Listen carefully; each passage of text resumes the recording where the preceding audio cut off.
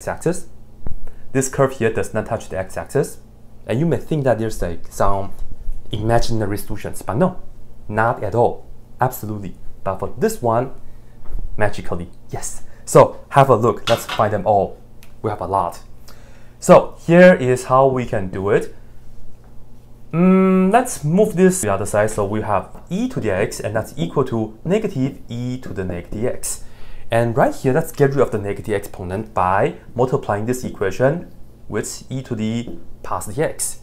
This times this will give us e to the 2x, and then this times that will just give us 1 because the exponent out to be 0, so we have negative 1. Aha!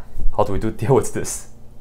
Still go ahead and take the ln on both sides. This way, this and that cancel. But now the question is, how do we handle ln of negative 1? You want to know a quick way to do it? The quick way is, this is actually on my shirt already.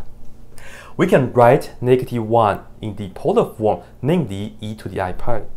Yeah, so right here, we are going to get 2x is equal to ln, and then this right here is e to the i pi. I can prove to you guys that this is negative 1. You see? That's the proof.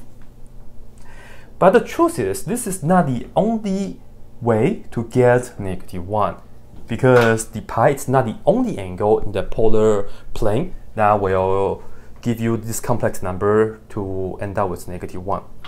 So the deal is that we look at this pi here plus 2 n pi. And in fact, you can do it now, you can do it later, up to you, but perhaps I'll just do it now. And if I do this now, I can cancel that and I can just put on entire thing right here.